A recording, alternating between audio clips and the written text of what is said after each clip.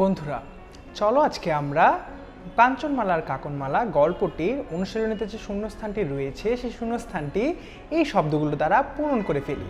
তাহলে শব্দগুলো কি কি?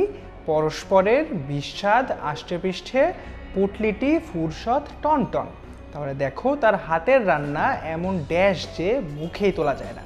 আমরা এখান থেকে দেখে বুঝতে পারছি, তার হাতের রান্না এমন বিস্বাদ যে মুখেই তোলা যায় না। বৃদ্ধ লোকটি তার ড্যাশ সযত্নে একপাশে রেখে দিল। বৃদ্ধ লোকটি তার পুটলিটি সযত্নে একপাশে রেখে দিল। লোকটির কাজের চাপ এত বেশি যে দম ফেলার ড্যাশ নেই, দম ফেলার ফুরসত নেই। এই দেখো, আমরা এখানে বুঝে গেলাম যে এই শব্দগুলোর দিকে তাকিয়ে বুঝে গেলাম আসলে শূন্যস্থানে কোনটি বসতে পারে। তার সমস্ত শরীর ব্যথায় কি করছে? তিনটি শব্দ দেখো, এখানে টন টন শব্দটি এখানে বসার মতো। তাহলে তার সমস্ত শরীর ব্যথায় টনটন করছে। তারা দুজন ড্যাশ বন্ধু, তারা দুজন পরস্পরের বন্ধু। গ্রামের মায়া ছেলেটিকে ড্যাশ বেঁধে রেখেছে।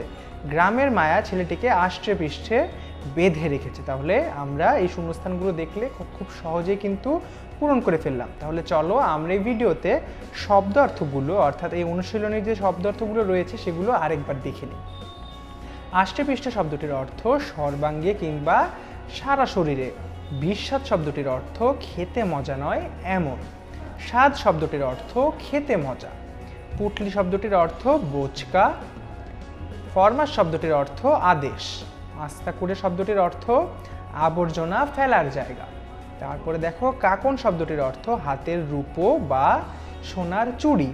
তারপরে দেখো, ঘোর শব্দটির অর্থ অনেক অনেক বেশি কিংবা গভীর। এবং তাহলে দেখো, চলো আমরা এই পৃষ্ঠা শব্দার্থগুলো জেনে নেই। ফুরসত শব্দটির অর্থ, অর্থাৎ ফুরসত শব্দটির অর্থ, এখানে ভুল আছে বন্ধুরা, ফুরসত হবে।